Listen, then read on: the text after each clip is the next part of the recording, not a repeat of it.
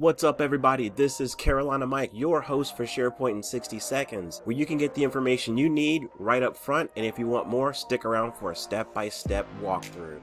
Today we're going to show you how to beautify your page by adding handy dividers all over the place. Stick around! I'm a SharePoint expert, play with data extra, careful with my hands cause I gotta use them for work.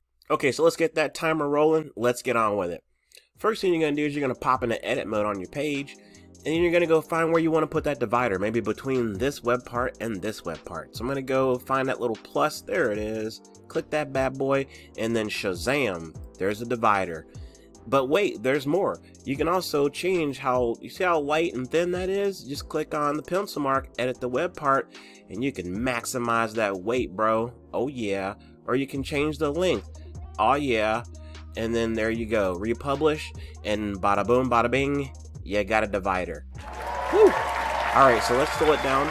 We'll take it step by step, even though I'm not sure the step by step is going to be really any more informative, but we'll go for it anyway, since that's the format, right? Uh, before we do that, though, hey, big shout out to everyone watching, all the followers and subscribers and people that liked and shared and all that jazz.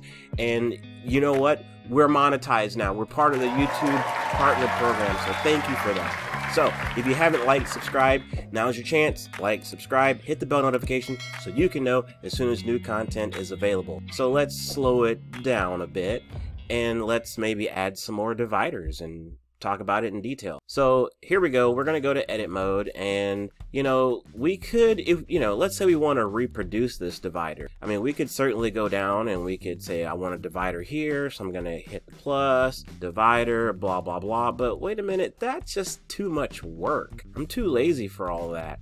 So why don't I just do this? We're just going to click on the thing the web part, the divider web part, and you see that little thing, duplicate web part, bam, look at that. And you're just gonna drag this puppy right on down here to the next spot, uh, somewhere like here is that there you go. And then you're gonna you're gonna duplicate it again. We just we might as well just keep this good thing rolling right? We'll come on down here. Is there anything down here to divide? Not really, but you get the idea. So that's how you work with dividers. Uh, it'd be nice if we could change the color, but I'm pretty sure we're pretty locked in at this grayscale. Uh, as we said before, you can change how wide or narrow it is, and you can change the thickness of it with the slider. So there you go. Pretty straightforward, pretty super simple, easy way to spruce up your pages and make you look like the pro that you are. So with that, continue to do the very best you can with what you got. And remember, SharePoint rocks, and so do you. We'll see you next time. I'm a SharePoint expert, play with data extra.